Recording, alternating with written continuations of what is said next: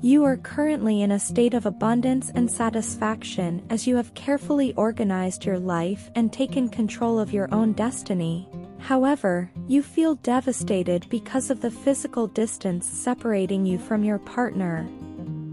Your partner can sense your protectiveness towards them, but they also perceive your exhaustion and frustration with their inconsistent behavior.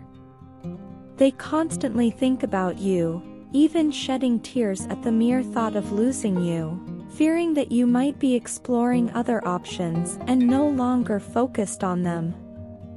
Deep down, your partner strongly believes that the two of you are meant to be together, as you complement each other in various ways and have the potential for a happy and stable future.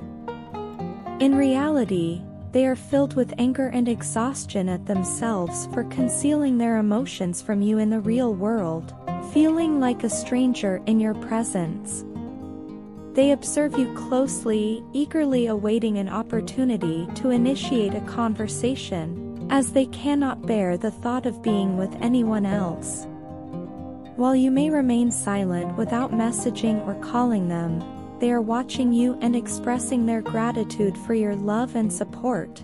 Dear Spirit Family, we hope you're enjoying the content thus far. By subscribing below, you'll gain access to all our latest videos and stay updated with our channel.